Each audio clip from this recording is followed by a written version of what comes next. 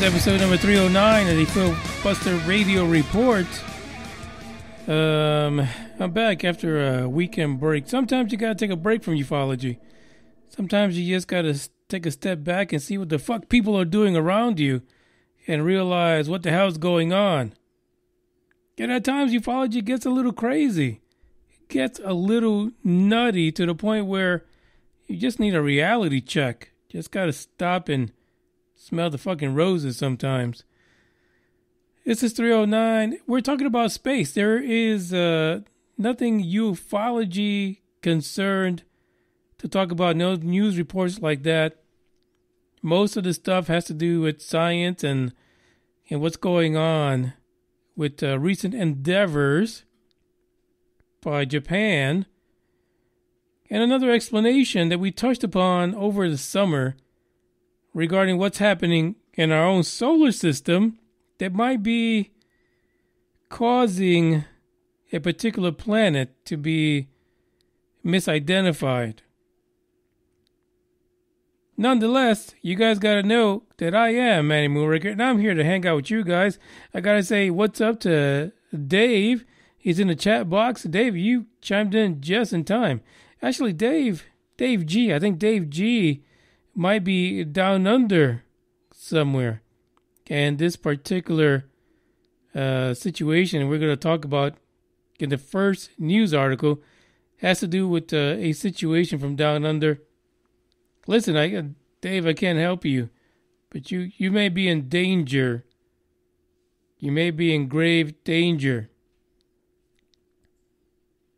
As the last few days, I've been uh, dealing with a uh, tooth problem and I kind of ranted about it in the last episode where we kind of went on and on uh, regarding this, this situation uh, about how we're being rubber dicked by medical science and dentists having us live like uh, just a little bit better than uh, George Washington when he had the wooden teeth. So now we got porcelain teeth, but the fuckers don't last very long.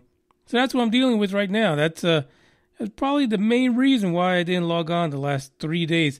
Because Monday I didn't feel like doing it either. Though I had plenty of medication, it's not exactly something I like to do. But uh, it is what it is. Can't really make any excuses behind that. Uh, Dave says yes, uh, he is an Aussie. No, Dave, you can't say unfortunately I'm an Aussie. Come on. That's the land of of uh, down under. Where is it? What's it? Uh, the women, the women roar and the the men plunder. Isn't it something like that? Something like that. You know, Vegemite. Come on, stop fucking around. Um, I got a track that I'm going to play, and, and reason why I'm playing this track right from the get go before we get into the news article, because it reminded me of something that I that we used to say back in the day, back in uh, New York whenever somebody just showed that they had, I don't know, chutzpah, that they were like running things, we said that, uh, because we wouldn't tell them this, because some of the people that you identified that had this kind of a situation going on were not people that you'd mess around with. But we'd say they had uh, elephantitis the balls. Yeah, their balls were hanging low and large. So uh, you couldn't screw with them. You could not screw with them. There were plenty of times where we came across stray animals that had elephant elephantitis of the balls, and they were scary as fuck. But uh, when you you come across someone that says they've got elephant elephantitis of the balls, and you see it in their attitude, you better run. The name of this track is called Elephantitis.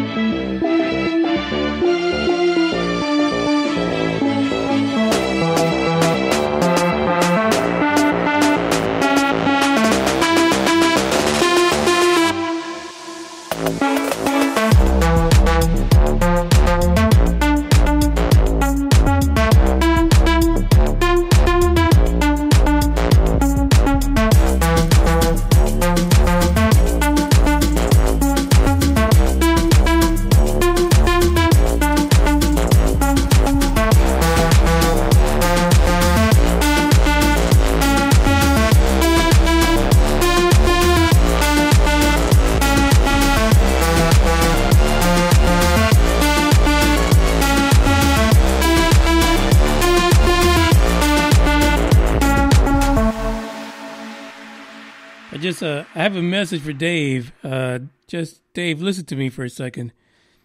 But you know, when when I talked about that lyric from Men at Work, you know, where the women, where's the women, the women work and the men plunder. I, I swear, folks, I, I pictured Dave just jumping off his chair uh, with, with the elephant elephantitis going on and pounding on his chest because he's about to go plunder. Sorry, Dave, but that's what uh, that's what crossed my mind at the moment. It's a great song, man. At work, I'd play it, but you know, copyright infringement can be uh, screwing around with that.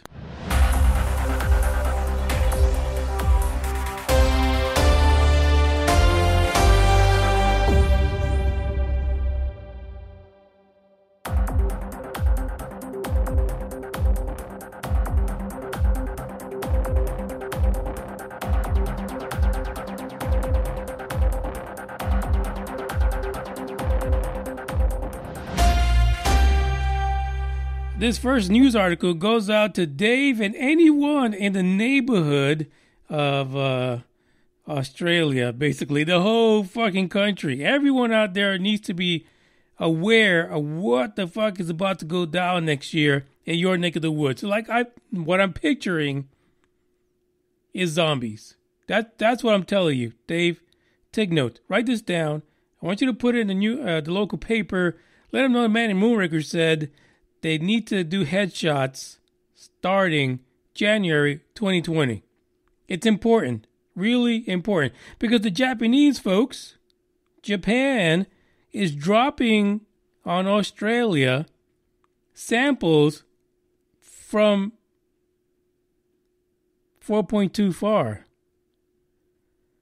Yeah, apparently Hayabusa 2, uh, as of late, has been testing its ion engines because it's coming back home.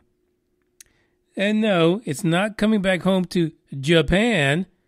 Yeah, the Hayabusa 2 is coming back home to Australia. And here's my thing. And let's let's let's let's just forget about the whole my country, your country bullshit. Just just let's let's clear those lines. But if someone drops a bunch of alien whatever it is on my neighborhood, I would have uh, an issue with that. Don't you think that's wrong? So the Japanese basically collected all the shit they needed to collect from the the Rigu, the Ryugu, the I, I don't fuck. It's like a Street Fighter name. I don't know what the hell this is about. I don't know. It's a uh, R Y U G U Ryugu. Uh, yeah, all you can.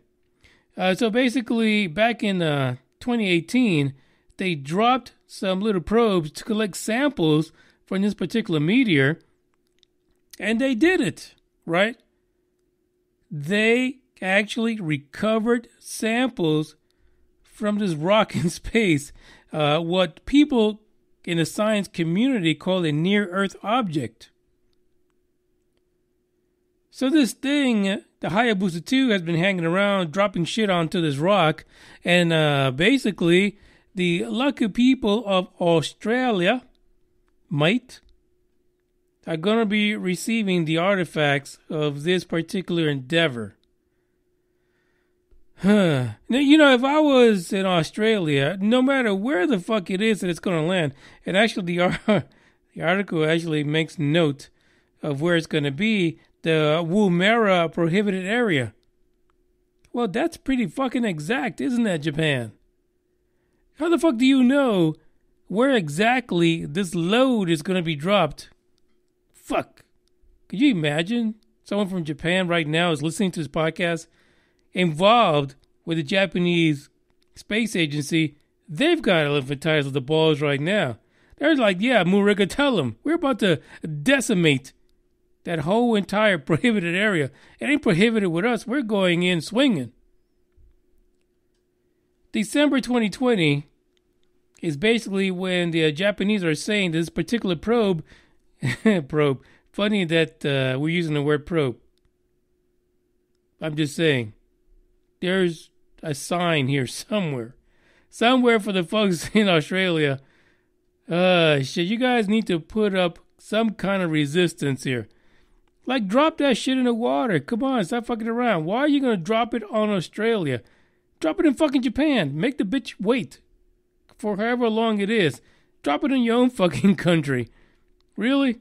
My heart goes out to the people in Australia because they're gonna have to deal with the zombie kangaroos and the wallaroos and whatever the fuck it is out there, crocodiles and shit. It's it sounds like it's gonna be dangerous. It is gonna be totally freaking dangerous. What what is wrong with them?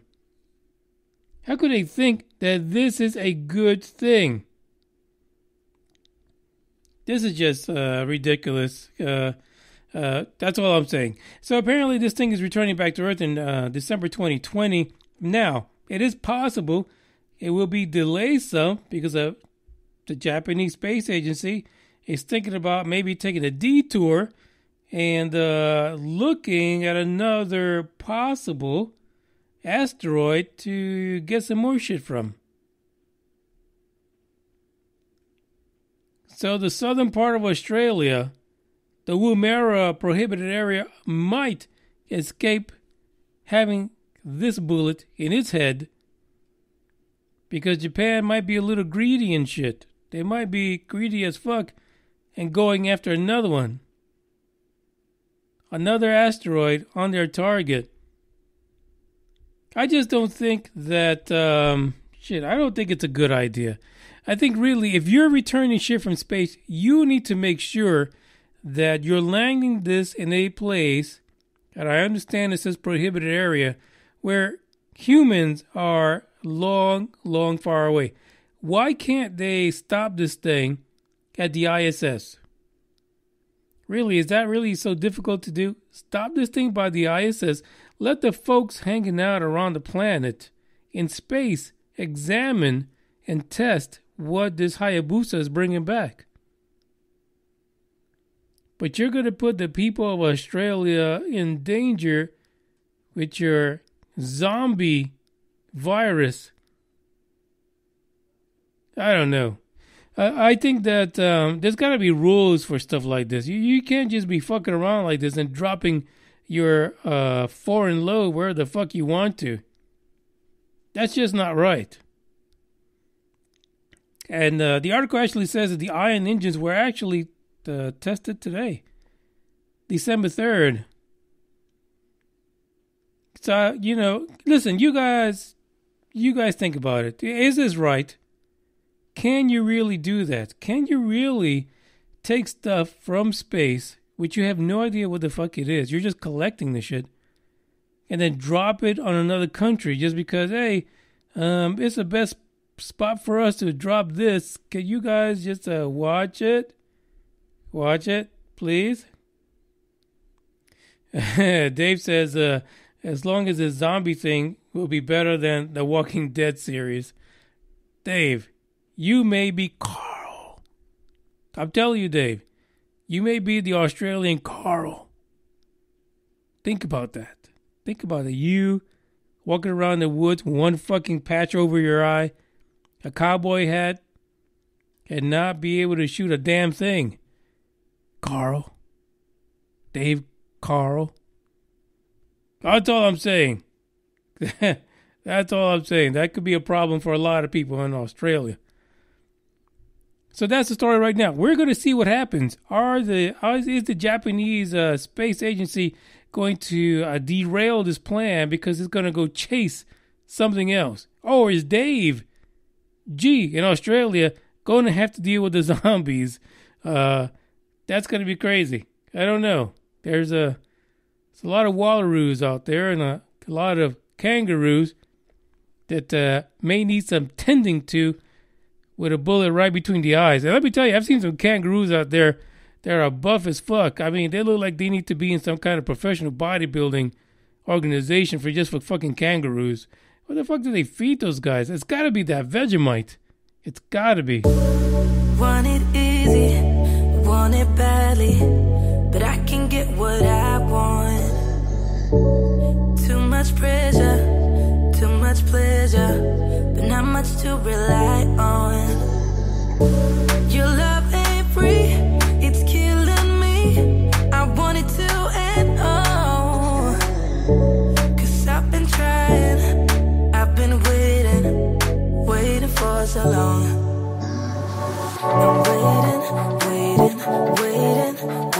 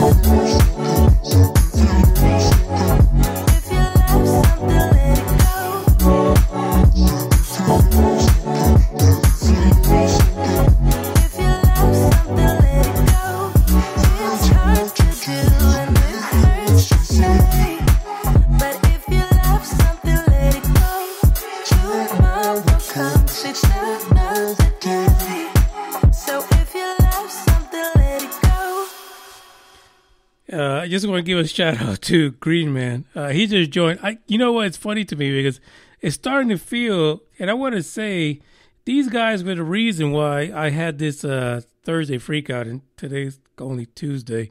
But I feel like this is becoming the cheers of ufology. And uh, Green Man's in. Hey, you know when when uh, Norm walks into the, the bar, everyone like stands up and greets Norm. Uh, these are the two guys. It's Dave and Greenman.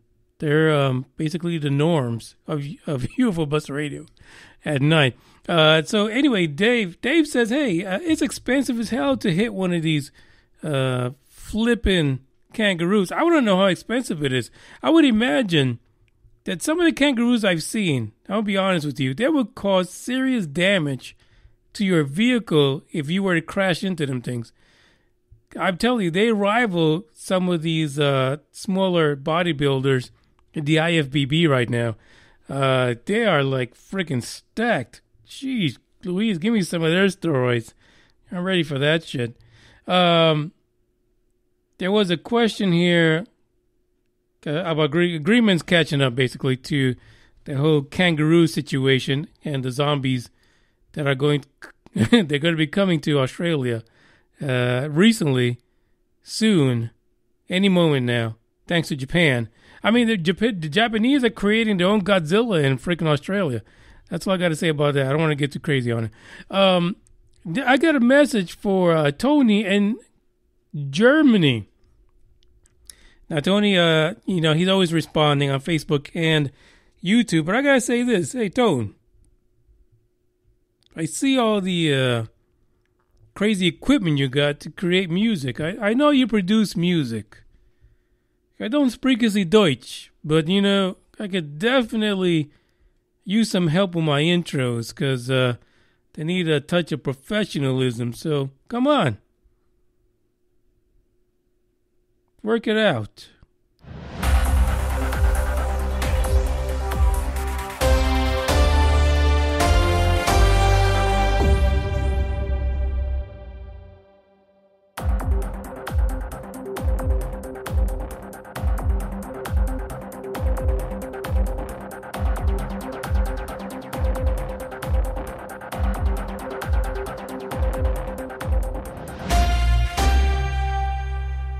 Turns out Greenman agrees. Some of these uh, kangaroos are buff as hell. They really are. Like if I could figure out what the hell they do to work out the way, I, I still say it's the Vegemite.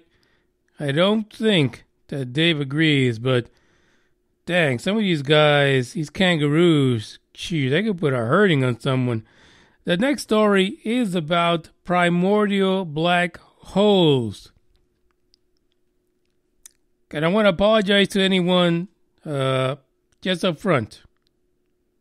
Up front, I want to say, hey, sometimes when I say black holes, it sounds like black holes, thanks to uh, Big O, because when we when he first talked about black holes, he kept on saying uh, he kept on saying black holes. That got us a lot of uh, negative attention. But thank you, Big O, for placing that in my mind. Uh, big shout out to Guter.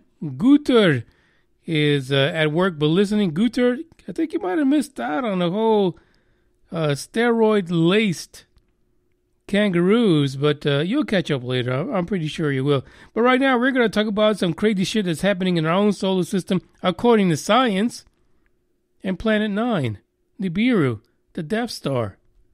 Planet 9 may not be a planet at all, says a few Poindexters. Instead, it might be a primordial black hole, shocking study suggests.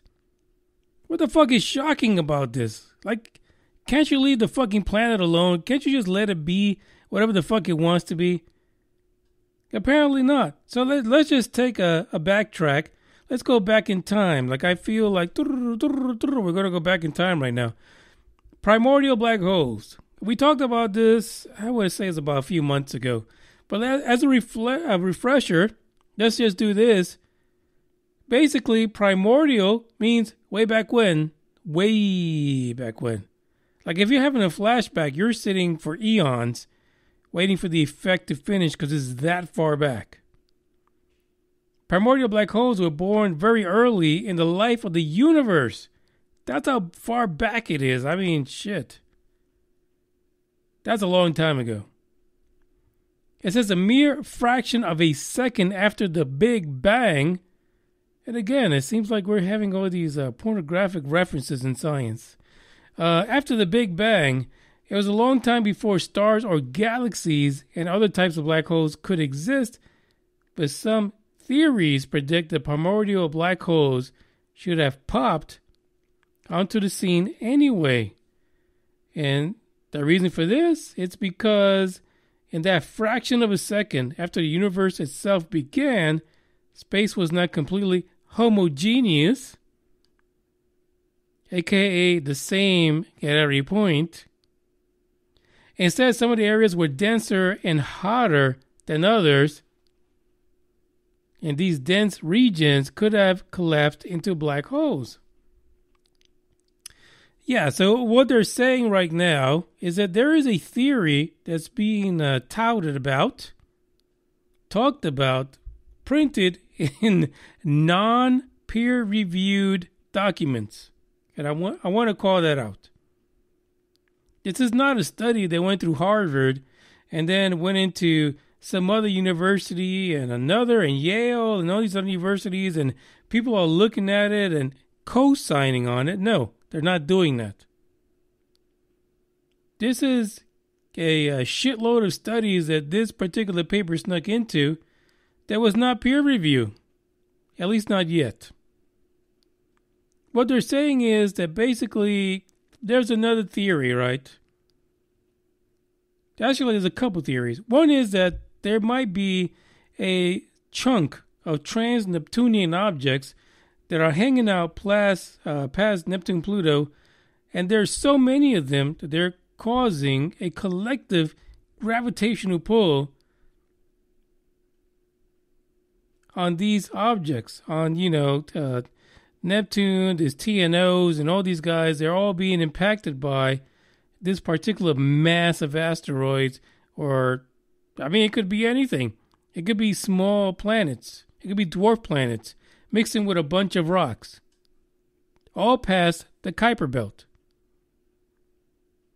So, one theory is that the mass of these objects, because they're huddled together like a brood, like an attacking zombie in southern Australia, a bunch of them, that they're having a gravitational effect on Kuiper Belt items and TNO objects.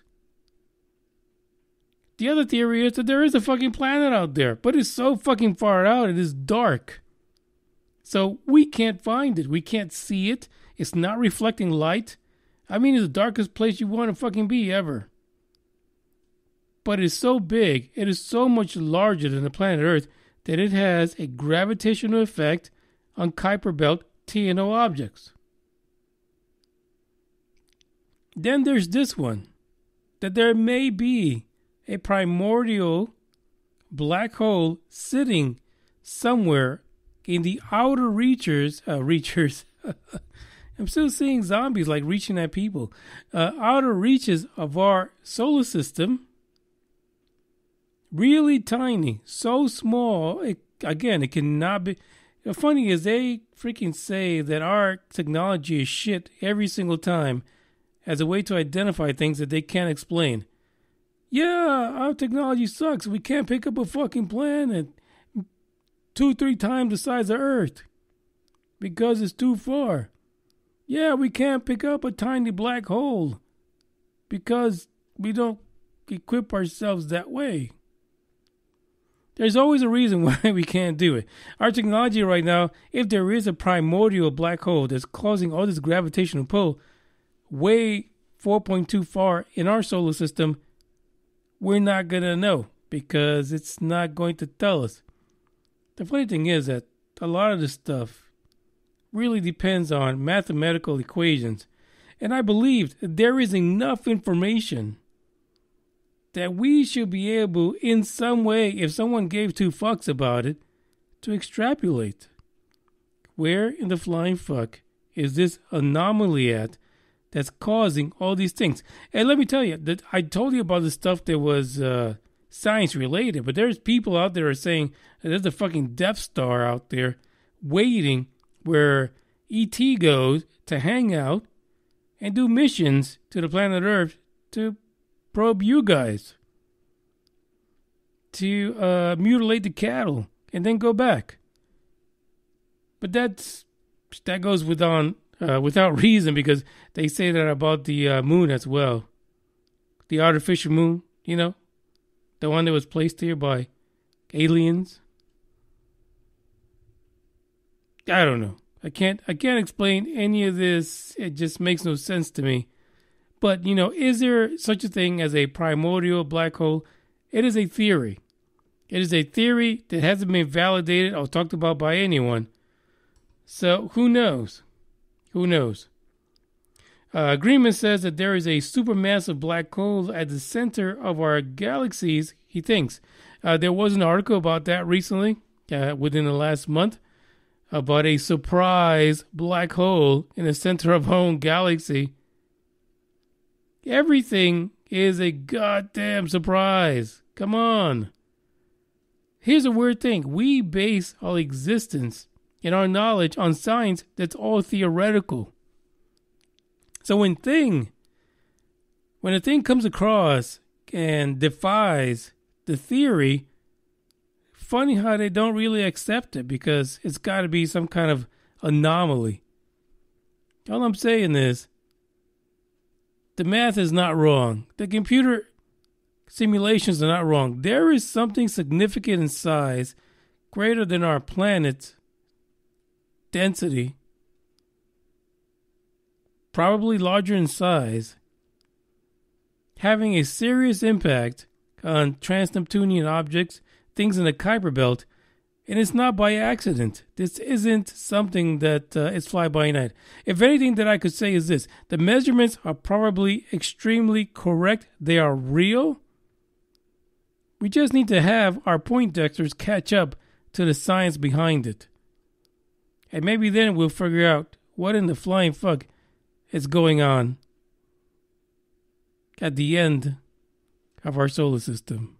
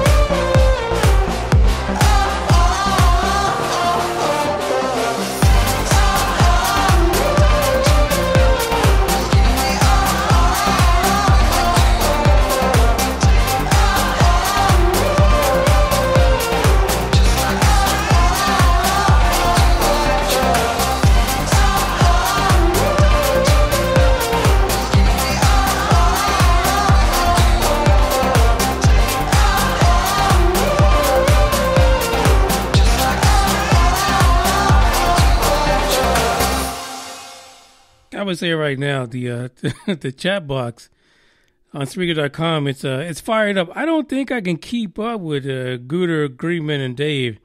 Their conversation is is it's uh it's taking a life of its own. These three need their own fucking podcast. I'll be honest with you.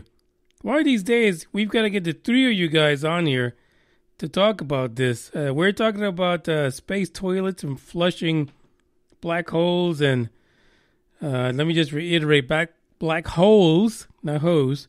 And uh, we're also talking about the Death Star called the Moon. Now, here's one thing I got to say about that. Just uh, I'm not into black holes, or the other word, but I just got to say this. Um, I find it really strange, really strange. If you look at the model of our solar system and how it's traveling through space, it's not sitting on a turtle scratching its posterior as it just sits there waiting for stuff to come by and feed it. It is the model of a system of planets that's not static, it's dynamic. It is traveling away from the center of the universe. It'll blow your mind when you see how this happens. When the models show you how we're not just sitting there like we've been told in school, elementary school, middle school. It's not. We're not just sitting there at a particular axis on the same plane. We're actually, the entire fucking plane is moving through the, the space, basically. When you take all of that movement, all of that traveling, all that uh, getting jiggy with it in space, how the fuck is it that we only always see one side of the fucking moon? I am so perplexed by that, and I've read things that explain how that is.